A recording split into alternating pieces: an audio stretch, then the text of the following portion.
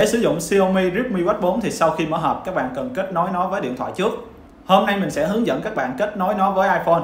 Tuy nhiên, các bạn dùng điện thoại Android vẫn có thể tham khảo làm theo nha. Đầu tiên, các bạn khởi động đồng hồ lên bằng cách bấm giữ cái nút xoay này trong vòng 5 giây. Đến khi nó có cái mã QR hiện lên thế này là được. Tiếp đến, chúng ta bật kết nối Bluetooth trên iPhone và cài đặt ứng dụng Mi Fitness từ App Store. Trong lần đầu mở cái ứng dụng này thì các bạn cần chấp nhận điều khoản và chọn khu vực là Việt Nam. Ngay sau đó các bạn sẽ được đến với cái giao diện chính của Mi Fitness. Tại đây các bạn chuyển sang tab hồ sơ và đăng nhập tài khoản Xiaomi. Nếu chưa có thì các bạn có thể bấm vào nút tạo tài khoản để đăng ký bằng địa chỉ email. Đăng ký xong thì sẽ được tự động đăng nhập luôn. Trong lần đầu tiên thì bạn cần hoàn thành các thông tin như là ngày sinh, giới tính, chiều cao, cân nặng hoặc là có thể bấm nút bỏ qua để điền sau cũng được. Đến đây là chúng ta đã có một cái tài khoản Xiaomi. Trở về giao diện chính, chuyển sang tab thiết bị và bấm nút thêm thiết bị các bạn sẽ thấy tên của đồng hồ hiện ra.